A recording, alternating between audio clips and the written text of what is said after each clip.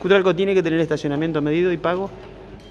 La verdad que habría que verlo, yo creo que no, no, no, no me parece eh, en esta situación, pero todavía no, no se ha planteado, tendría que, verse en, discusión en, el futuro de comisión de gobierno. Claro. Hay, hay, un reclamo de los vecinos que dicen los empleados de los comercios estacionan, están todo el día ahí y no podemos estacionar los demás. ¿Esto para atender la situación?